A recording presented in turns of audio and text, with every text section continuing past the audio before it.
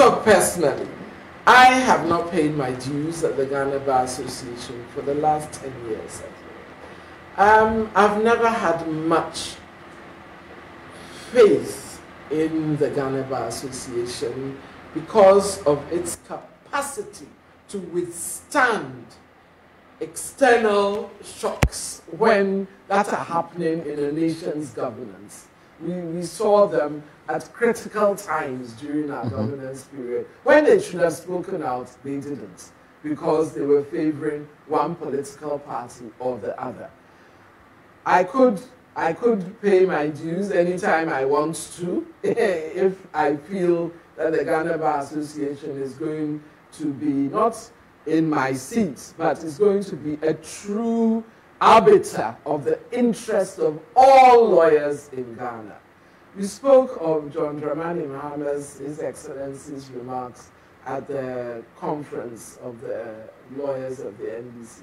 I chaired that conference, and we were enthusiastically in support of him and his remarks about the perception of Ghanaians waning confidence in the judiciary of Ghana. Look, Article 125 of the Constitution says quite clearly that uh, the, the, the, the justice, the administration of justice, is vested in the people, in the people of the Republic of Ghana, and it is the judiciary who is to administer justice for us. If you don't listen to the people, how on earth can you administer justice for us? They need to listen to us. This should be a wake up call.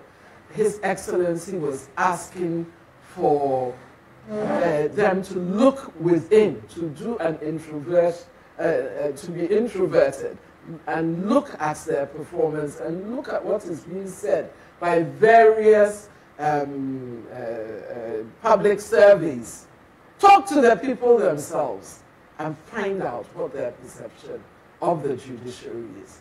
It is sad to see and hear of that barrage of unjustifiable criticism that was leveled at the former president. And I want to tell you that the, the, the, the hundreds of lawyers who attended that conference each and every one of them supported what he said. And it's not because we are NDC. It's because 99% of them practice at the bar. They go to the courts daily and they know what is happening in the courts. Yet they are afraid to talk. Many of them might be afraid to talk because it will affect their professional um, capacity to practice.